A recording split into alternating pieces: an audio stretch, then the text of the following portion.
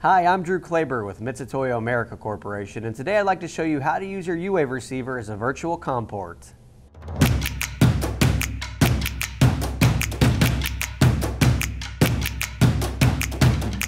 Begin by using the supplied USB cable to connect the U-Wave receiver to any available USB port on a computer. If you've not yet installed the U-WAVEPAK software or the U-Wave receiver drivers, click here for video instructions on how to do so.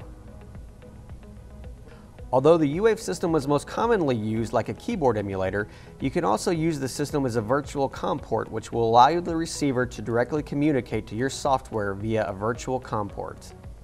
To begin, load the U-WAVEPAK software that came with your U-Wave receiver and check the box marked Use the driver for virtual COM port, followed by the OK button.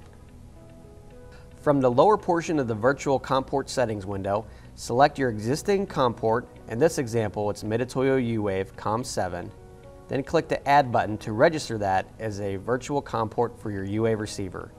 Select OK to confirm this setting. Select Exit to leave the U-WAVEPAK software. When using the U-Wave receiver as a virtual COM port, you no longer have to have the U-WAVEPAK software open to be able to communicate to the receiver. To show you how this communication works, I have a caliper with a U-Wave fit transmitter, and on the computer, I have Teraterm open which is connected directly to the U-Wave receiver through the virtual COM port. Once the measurement value is sent from the measuring tool, you can see in Teraterm how the value will look coming through the virtual COM port.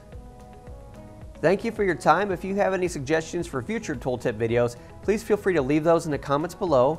If you have any questions, please feel free to give us a call at 888-MITUTOYO or visit us online at www.mitutoyo.com.